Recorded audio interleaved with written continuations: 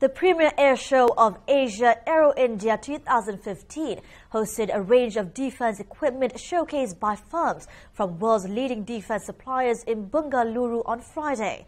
The 10th edition of international event is themed on Prime Minister Narendra Modi's ambitious Make in India project in aerospace defense, civil aviation, airport infrastructure and defense engineering. A number of countries like US, Russia, and France are participating in the event and are acknowledging the nation's growing defense market.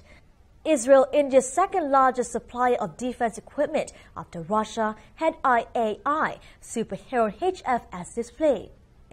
The machine is a male UAV with medium altitude, long endurance, can serve for long hours, and also can carry all kinds of communication intelligence. The most important payloads are synthetic radar, which can see beyond the clouds, and the maritime patrol radar, which can scan more than 300 targets in sea at the same time.